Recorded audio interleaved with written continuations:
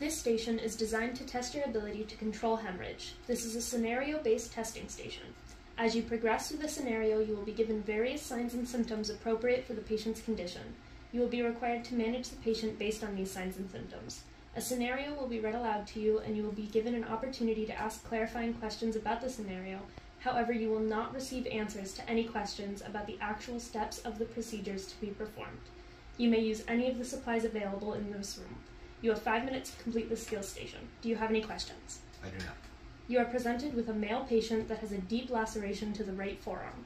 I'm going to start by having my BSI on. I'm going to take my 5x9 gauze and apply direct pressure to the wound. And your patient continues to bleed. Okay. I'm then going to apply a pressure dressing.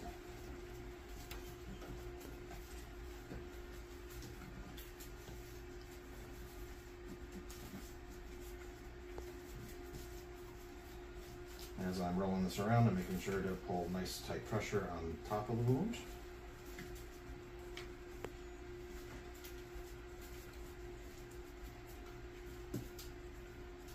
Alright, pressure dressing has been applied.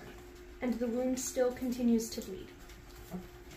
So I'm going to put a tourniquet on. So I'm going to slide this over. I'm going to go about two inches above the wound, making sure I'm not in a joint.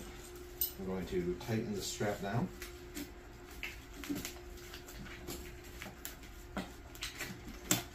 Strap is tight. I'm going to spin the windlass. Make sure it gets nice and tight. I'm going to spin until I see the bleeding stop. That way I know it's sufficient. I'm going to then secure it into one or two of these hooks, which is I'm going to fit into one right now.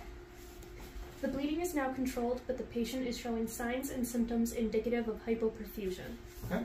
I'm going to apply high flow oxygen to the patient. I'm going to properly position them by keeping them flat and raising their legs up. I'm going to keep them warm with blankets, and this patient does need immediate transport to the hospital. I am done with this scenario.